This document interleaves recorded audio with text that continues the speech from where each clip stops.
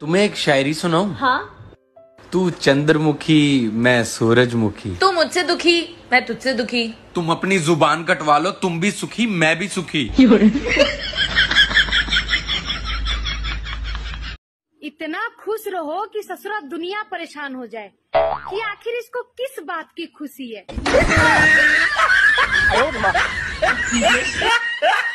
अगर आपकी बीबी ज़्यादा किचकिच करे तो उठाओ चप्पल।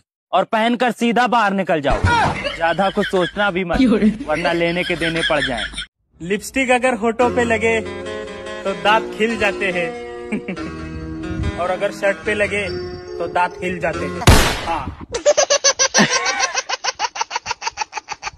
बीबी को भले ही लाख रुपए का मोबाइल लाकर दे दो लेकिन पता नहीं पति के दस हज़ार के मोबाइल में क्या ढूंढती रहती है। ना पढ़ने को दुख तो बहुत है। पर इतना भी ना कि पढ़ना शुरू कर दूँ। एक दोस्त रोज मुझे उदास शायरी भेजता है। अब तो मैं भी उसकी माशुका को मिस करने लगा